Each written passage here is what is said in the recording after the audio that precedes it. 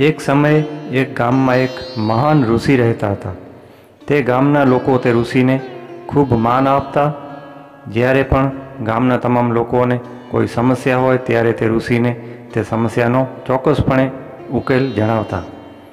બધા લોકો તે ઋષિથી ખૂબ જ પ્રસન્ન હતા. દર વખતે કોઈ નવી સમસ્યા લઈને કોઈ ઋષિ પાસે આવતો અને મહાન ઋષિ તે સમસ્યાનો ઉકેલ જણાવતા. એકવાર એક વ્યક્તિ એક ઋષિ પાસે પ્રશ્ન લઈને આવ્યો અને ઋષિને પૂછ્યું કે, ગુરુજી, મારે એક પ્રશ્ન પૂછવાનો છે. તો ઋષિએ કહ્યું, તમારો પ્રશ્ન શું છે? તે પૂછો.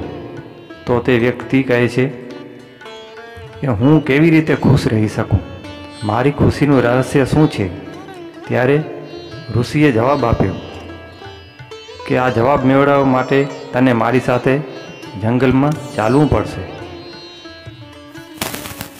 થોડા સમય પછી વ્યક્તિ સુખનું રહસ્ય જાણવા માટે ઋષિ સાથે જંગલમાં જવા નીકળી પડે છે અને તે બંને જંગલમાં જાય છે. ત્યારે જ એક મોટો પથ્થર રસ્તામાં આવે છે અને ઋષિ વ્યક્તિને તે પથ્થર પોતાની સાથે લેવાનું કહે છે. વ્યક્તિ ઋષિના આદેશનું પાલન કરે છે અને તેના હાથમાં પથ્થર ઉપાડે છે. થોડા સમય પછી તે વ્યક્તિ તે ભારે પથ્થર ઉચકતા થોડો દુખાવો અનુભવ થાય છે.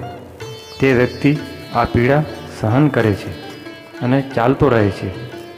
લાંબા સમય સુધી તે વ્યક્તિની પીડા સહન કરે છે. પરંતુ જ્યારે તે વધુ પીડા થવા લાગે છે, ત્યારે તે મહાન ઋષિને કહે છે કે, હું પીડામાં છું. અને હું થાકી ગયો છું. આ સાંભળીને ઋષિ બોલ્યા, પથ્થરનો ભાર દસ મિનિટ સુધી રાખ્યો હતો. તેનાથી તમને થોડો દુખાવો થયો. જો વીસ મિનિટ માટે ઉપાડવામાં આવે, તો પછી તેને વધુ અને વધુ સમય માટે રાખો. પછી તે વધુ દુખાવાનું શરૂ કરે છે. એ જ રીતે, જ્યાં સુધી આપણે આપણી જાત પર દુઃખનો બોજ લઈશું, ત્યાં સુધી આપણને સુખ નહીં મળે, માત્ર નિરાશા જ રહેશે.